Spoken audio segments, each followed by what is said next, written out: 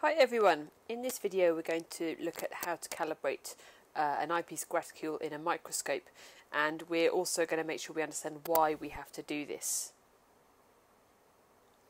Okay, so if you look down a microscope, so here we can see this is the field of view and if you have an eyepiece graticule then it looks like this. So an eyepiece graticule is basically a scale which is actually built into the eyepiece itself and we can use this scale to help us measure things. So if, for example, we put an object um, on our stage, uh, the stage of our microscope, so here we're looking at a cell, and here you can see the eyepiece graticule scale. So we can see from this that our object is one unit in length. But at the moment, we don't know what that unit is, is measured in. Um, so we need to find out. Now, if we decide that we want to look at this object under a higher magnification, so we um, move the objective lens around, then we see that it looks like this. Now, as you can see, the object looks bigger because it's been magnified compared to what it looked like here. But if you have a look at the eyepiece graticule scale, it's the same. And that's because the eyepiece graticule scale, as I said, is actually in the eyepiece itself, whereas the objective lenses are beneath the eyepiece graticule. So when you increase the magnification by changing the objective lens, the eyepiece graticule, graticule, which is above the objective lens, doesn't get magnified, but anything that's on the stage does. So this object obviously hasn't got bigger, so if we say that this is looking at it using a 4 times objective lens, so that would be a total magnification of times 40. If we look at it under a total magnification of times 100, um, the object itself isn't bigger, it hasn't grown, it just looks bigger because we've magnified it. So now we can see that one unit on our eyepiece graticule doesn't always equal, for example, one millimeter, because oops, sorry, because in this example here, the amount that each unit is worth is obviously different to the amount that each unit is worth here. So this means that we have to work out for each objective lens what one unit is worth. So how many millimeters is one unit one unit on the eyepiece graticule worth if we look at it uh, with a times 4 objective lens and what is one unit on the eyepiece graticule worth if we look at it under the times 10 objective lens. So the way that we do that is we use a stage micrometer. And a stage micrometer is basically like a special ruler for a microscope. So what you can see here, this is a glass slide that you would put on the stage and then in the middle of the glass slide it's obviously very very small because you're going to look at it under the microscope but this tiny thing here that's like a little dot is our micrometer.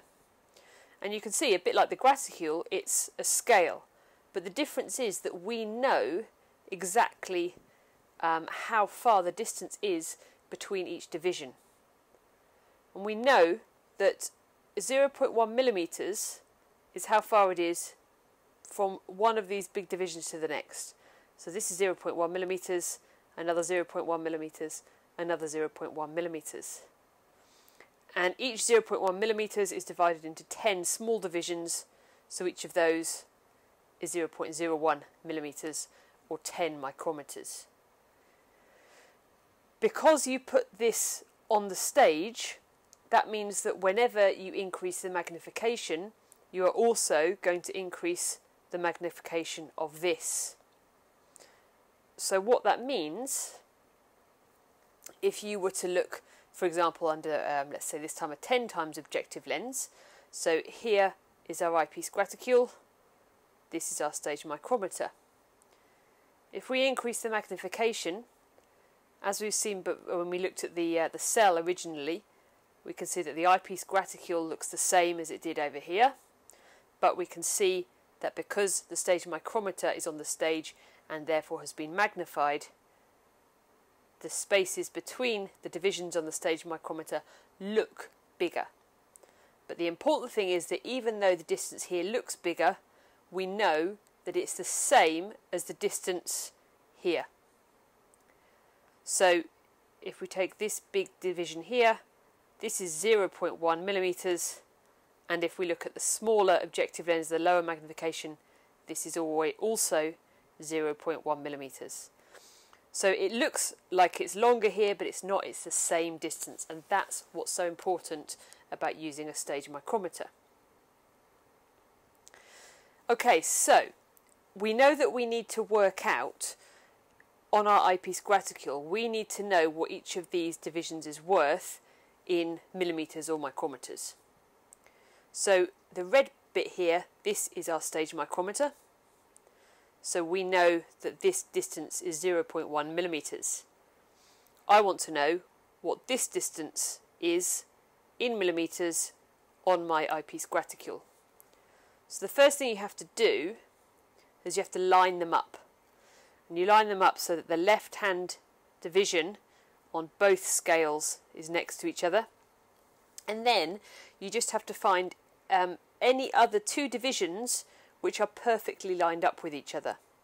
So these two look quite lined up here, um, but because that's so close, I'm going to go further along just to try and be a little bit more accurate. You can use the small divisions or you can use the big divisions, but if you look here, they're not quite um, in line. This one here, it's not in line, it's also not quite in line with that one.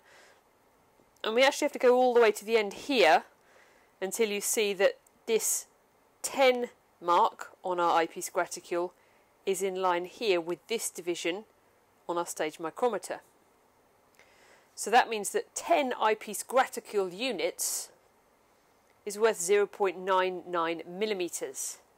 So from that we can work out what one eyepiece graticule unit is worth and then we can convert that into micrometers.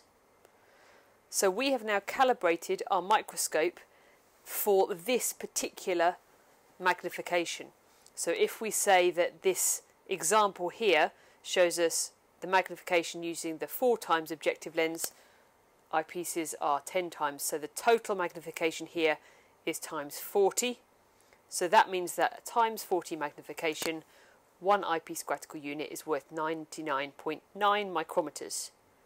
Now you might think, hang on, I mean that's really close. You know, 10 units and 0.9. You know, do we? Does it really matter? Yes, it does. You have to be very precise. So, because we now know what each division on our eyepiece graticule is worth, we can now measure things like our little cell here, but we don't need the stage micrometer. As long as you're using the same microscope, with the same eyepiece lens um, and the same magnification that you've calibrated, you can just use your eyepiece graticule. So if I'm going to measure this cell, first of all, I probably want to uh, just move around a little bit so that it's nicely lined up.